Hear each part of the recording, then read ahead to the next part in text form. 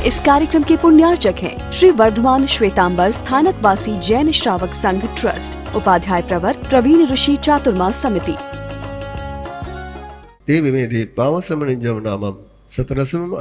संपूर्णम। एक होता है जहरीला बनकर के जीना। और एक होता है सुधा में बनकर के जीना अमृत में बनकर के जीना। है इस अध्याय में गई हुई बातें। आज की आराधना की ये सूत्र हम सभी के सामने दो ऑप्शन देते हैं। जहरीला बनकर के जीना कि अमृतमय सुधा में बनकर के जीना जो जहरीले बनकर के जीते हैं, उनके इस जीवन में भी गढ़ा होती है, निंदा होती है। तिरस्कार होता है। अगले जन्मों में भी उनका तिरस्कार ही होता है। वर्तमान भी उनका तिरस्कार में रहता है। भविष्य भी उनका दुत्कार में ही बीतता है। परमात्मा फरमाते, जो इन दोषों को छोड़ देता है, इन दोषों से जो बचता है, उसका जीवन अमृतमय बन जाता है। परम पावन हो जाता है। वो वर्तमान की भी आराधना करता है और उसका भविष्य भी उज्जवल होता है। उसका ये जन्म भी तीर्थ बन जाता है और भविष्य भी उसका उज्जवलतम हो जाता है। और बहुत सामान्य सोच है, बड़ी खतरनाक सोच है। जो कुछ मुझे मिलना था, वो मिल गया। सुदुल्लहम सुदुर्लभ जो मनुष्य जन्म था, सुदुर्लभ जो बोधि थी, सुदुर्लभ जो जिन शासन था, जो बहुत मुश्किल से मिलता है, बहुत कम लोगों को मिलता है, वो मुझे मिल गया है। ये मिलने के बाद जो यथा सुख में जीता है, ऐसा होता है जीवन में। जिनको सहज मिल जाता है वे लापरवाह हो जाते हैं। ऐसा भी होता है, जिनको मुश्किल से मिलता है, वो मुश्किल से मिलने के बाद भी लापरवाह हो जाते हैं। ठीक है, मिल गया अब क्या? है एग्ज़ाम्पल ले सकते हो आपके जीवन का। बेटी की शादी के लिए बड़ी मुश्किल से बहू को खोज के लाते हो। जितनी प्रयासों के साथ, जितने सजगता के साथ उसको घर लेकर के आए, घर लाने के बाद वो सजगता रहती है क्या? माँ बाप बनने के लिए जितने प्रयास, जितनी तमन्ना, जितनी अरमान रहते हैं, बच्चे को जन्म देने के बाद उतनी सजगता रहती है क्या? साधु जीवन मिलने के पहले ये कपड़े मिलने के पहले, ये दीक्षा होने के पहले, जितनी उत्कंठाएँ संयमी जीवन के प्रति थी, क्या वो प्राप्त होने के बाद उतनी बनी रही क्या? और वो नहीं रहती है। तो जीवन में पाप का रास्ता खुल जाता है। एक सोच बन जाता है कि सब कुछ मुझे सहज उपलब्ध है। आहार मिल रहा है, पानी मिल रहा है सारी सुविधाएँ आपको सहज उपलब्ध है। और सारी सुविधाएँ सब उपलब्ध है। और मैं जानता हूँ क्या हो रहा है, क्या नहीं हो रहा है। तो फिर मैं अध्ययन किस लिए करूँ? फिर मैं आराधना किस लिए करूँ? मैं जन्म से जैन है, फिर निर्वाण कल्याण की आराधना किस लिए करूँ? क्या ज़रूरत है मुझे उतना ध्यान सूत्र की आराधना करने की? इसी लापरवाही में से लोग प्रमाद में जाते हैं। और यही से पाप का उद्गम होता है। जो सारा कुछ प्राप्त होने के बाद निद्रा में खोता है, प्रमाद में खोता है, जैसे चाहे वैसे उठता है। जिनसे ज्ञान लिया आयर्य वध्याय सुयम विनम च गाही है। यहाँ विनय का अर्थ है आचार संहिता, साधना ट्रेनिंग जिनसे बहुत प्राप्त किया जिनसे जीवन प्राप्त किया। और प्राप्त करने के बाद जब तक उनसे लेना था, मत्था रगड़ते रहे। और जब मिल गया, तब मत्था टकराना शुरू कर दिया। जिसको कहते हैं, गरज सरो और वैद्य मरो। गरज पूरी हो गई तो वैद्य मर गया तो भी मुझे परवाह नहीं। जो आपने वरिष्ठ जनों का, जो अपने अभिभावक गणों का है। व्यवस्थित आदर नहीं करता है। रिस्पेक्ट नहीं देता है। ये रिस्पेक्ट नहीं देना ही उसके जीवन में पाप को आमंत्रण देता है। चोये ये, पड़ी चोये कभी बड़ों ने कहा, कभी गुरु ने कहा, कभी किसी वरिष्ठ जन ने कहा अरे ऐसा नहीं करना चाहिए। पहले स्वयं को देखो, स्वयं ने क्या किया ऐसा उल्टा जवाब देना। ये उल्टा जवाब देना ये स्वयं के अहंकार को तीखा बनाता है। ये स्वयं के अहंकार को और जहरीला बनाता है। और उसके कारण से अपने अहंकार को तो समाधान मिल जाता है, लेकिन जीवन में पाप का वायरस आ जाता है। चलते समय, उठते समय, बैठते समय केयरलेस लापरवाह। समद मानी, पानानी, बियानी, हरियानी। ध्यान ही नहीं कैसे चल रहे उपयोग ही नहीं कैसे बैठ रहे कोई सजगता नहीं मैं कैसे खा रहा हूँ, मैं कैसे पी रहा हूँ। अरे, लापरवाह होना है केयरलेस होना है। क्रिया में केयरलेस होना है। उठने, बैठने, खाने, पीने में केयरलेस होना है। ये स्वयं के हर्ट को हर्ट कर जाना है। और जितने हम केयरलेस होते जाते हैं, उतने ही हम एनर्जी का मिसयूज करने लग जाते हैं। जितने हम लापरवाह होते चले जाते हैं, उतनी हमारे पर पाप के आक्रमण बढ़ते ही चले जाते हैं। और जितने हम सजग बनते जितने हम सावधान बनते हैं, उतना ही जीवन में पुण्य का जागरण होता है।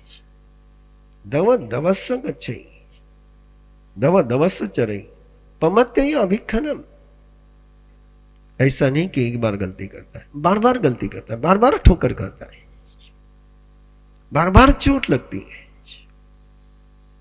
कई बार लोग कहते कि हमारे सब बार बार ही गिरता है, अरे बार बार गिरता थोड़ा है। बार बार गलती करता है, इसलिए गिरता है। केयरलेस होता है, इसलिए गिरता है। मुझे बार बार ठोकर लगती है। अरे बार बार ठोकर क्यों लगती है? तो प्रमाद में जाता है, इसलिए बार बार ठोकर लगती है। मेरे ज़िंदगी में हमेशा ठोकर ही लगती है मुझे। क्यों लगती भाई? लापरवाह हुआ, तभी तो ठोकर लगी है। और एक ठोकर लगने का कारण उल्लंघन ही या चंड और किसी बात का उल्लंघन करना हो किसी मर्यादा को ब्रेक करना। तो ऐसी एनर्जी जागृत होती है, मज़ा आ जाती है, और लेकिन वो मज़ा ही सजा दे जाती है। पाव समन्यति हो जाए। पढ़ी ले पमते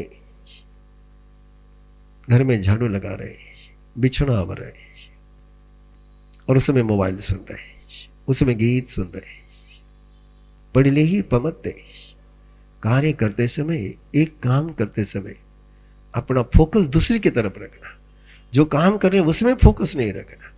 दूसरी तरफ़ फोकस रखना है बहुत छोटी सी बात है।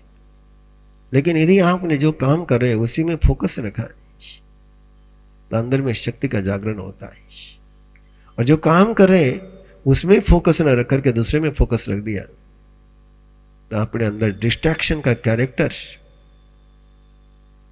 डिस्टर्ब होने का कैरेक्टर हम स्वयं में डेवलप कर लेते हैं। बहु माई पमोहरे थद्दे लुद्दे अनिगह अविसंभ्यागी अचियते। अप्रिय बनता है। जो बंटवारा नहीं करता है, जो वितरण नहीं करता है, जो स्वयं को मिलाए, जो स्वयं के पास ही रखता है, औरों को नहीं देता है। ऐसे व्यक्ति पाप की तरफ़ पाप के साम्राज्य के गुलाम बन जाते हैं। झगड़ों को जगाता विवादम च उदेरी। कई लोगों को खुजली आती रहती है। शांति उनको पसंद नहीं पड़ती। कोई काम आराम से चल रहा हो ना। तो जाकर के उसको टोचेंगे, टोका मारेंगे। कोई चल रहा हो ना तो बीच में टांग अड़ाएँगे और उसको गिरता हुआ देख करके मज़े लेंगे। विवादम च उदेरी। ये सारे झगड़ों को बढ़ाना, झगड़ों को जगाना, गड़े मुर्दों को उखाड़ना, अहम में अतपन्ना स्वयं की सारी प्रज्ञा अधर्म में लगा देनी। उगहे कलहे रखते आप सोचिए जरा, आपको कौन सी मूवी पसंद पड़ती है? कौन सा एपिसोड पसंद पड़ता है? जो बिल्कुल प्रेम से चल रहा है वो, या जिसमें मारधाड़ वायलेंस सस्पेंस किसमें प्रेम करते हैं? कभी बहुत जल्दी में जा रहे हो और रास्ते में कई संतों का प्रवचन चल रहा हो। और कोई आपको कहे कि दो मिनट रुक करके मंगल पाठ सुन करके जाओ। अरे नहीं नहीं, मैंने बहुत जल्दी। और रास्ते में कहीं झगड़ा चल रहा हो तो? क्या लेना देना आपका? लेकिन वो झगड़े के प्रति अंदर की मोहब्बत है ना? वो झगड़े के प्रति की मोहब्बत पापी बनाती है। क्या कर कलह पिए, जो कलह में प्रेम करता है, जो कलह से प्रेम करता है, जो झगड़े से प्रेम करता है इसको शांति सुभाती नहीं। अथिरासने कुकुए जिसका आसन स्थिर नहीं है। एक आसन स्थिर हो जाए तो मन स्थिर होने का रास्ता बनता है। स्थिरता से बैठते ही नहीं। इतने चंचल बनकर के जीते हैं, कि लगता है कि मानो हवाई चल रही है। नो स्टेबिलिटी ऐसे व्यक्ति और जहाँ बैठे हैं, वहाँ उपयुक्त तो नहीं होते जहाँ बैठे हैं, वहाँ रहते नहीं बैठते कहीं है और मन और कहीं भेज देते हैं। सस रखे पाए सुवाई सेजम न पड़े नहीं। इस सूत्र पर ज़रूर चिंतन करना है। छोटा सा सूत्र है, बहुत गहरा सूत्र है। पाँव पर रज लेकर के सोना है। कि चलते हैं? तो कहीं ना कहीं मिट्टी रज पाँव को लगती है। उस रज को पांवों से निकाले बिना कोई सोता है तो क्या होगा? क्या जीव की हिंसा होगी? क्या किसी को तकलीफ़ होगी? नहीं, परमात्मा बहुत गहराई से ये सारी देशना जो आपके पास है, वो केवल ज्ञान के देशना है, लॉजिक के देशना नहीं आपको पता ही नहीं कि जो मिट्टी आपके पाँव को लगी है, उसमें कौन सी लेशा होगी? उसमें कौन से वाइब्रेशन होंगे? उसमें कौन सी एनर्जी होगी? और जिस समय आप सो जाता है व्यक्ति, शरीर पूरा रिलैक्स हो जाता है। पूरी अंदर की ग्रहण करने की क्षमता बढ़ जाती है। और उस समय उस मिट्टी की जो ऊर्जा है वह अंदर में प्रवेश कर करके कितना डिस्टर्ब करेगी।